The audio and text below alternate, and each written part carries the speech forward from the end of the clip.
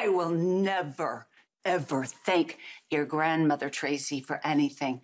Never thank you, certainly not. Because guess what? All that matters is Maxie.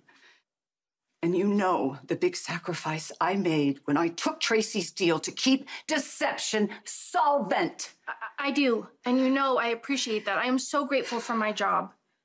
Well, since Tracy owns this company and my grandmother wants me here, I'm staying. Yippee. Suit yourself. Maxie, this is your problem now because I will never, ever, ever deal with someone who flat out lied to my face and spied on me.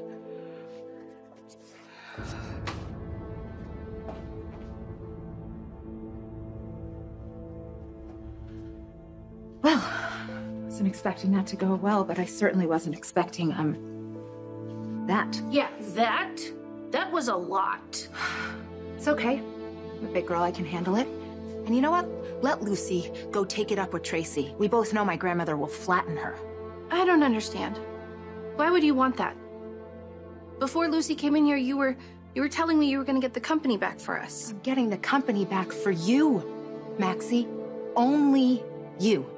Promise me that when I finally get this done, you will have sole control over the company. Look, I want you to be able to run this company the way that you want. You know, uh, away from all of Lucy's crazy shenanigans. Okay. Um, I think we're getting a little bit ahead of ourselves.